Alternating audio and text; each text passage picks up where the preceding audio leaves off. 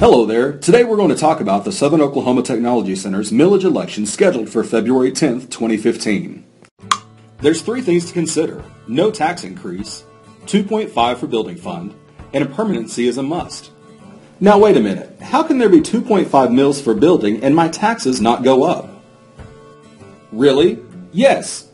I, I see. Okay, so because of careful planning by the SOTC Board of Education, the 2008 bond issue will expire at the same time the 2.5 mil building fund would begin.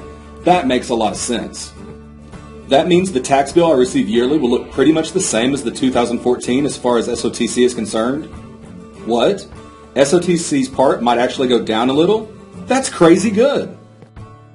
So there will be two questions on the ballot.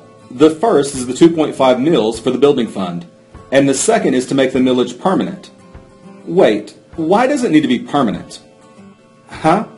So after a 2002 law allowed it, most schools across the state made their millage permanent so taxpayers don't have to pay the expense of an election every year, and it allows them to plan ahead. Hmm, I, I remember voting for that. Well then, SOTC is just being practical like all the other schools. Wait, I wonder why they need the building fund. SOTC is one of the only career techs in the state without a fully funded building fund. That puts our programs at risk because we have to use the money we could use for learning on building maintenance. That's terrible. So this money will not only help maintain SOTC, but will help secure safe rooms for students and eventually help build two more extension centers. That's awesome. Hmm, what happens if they vote no?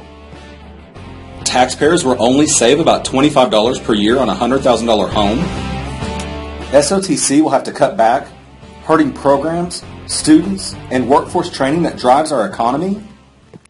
Let's recap. So, no tax increase, 2.5 for SOTC buildings, make it permanent and save tax dollars.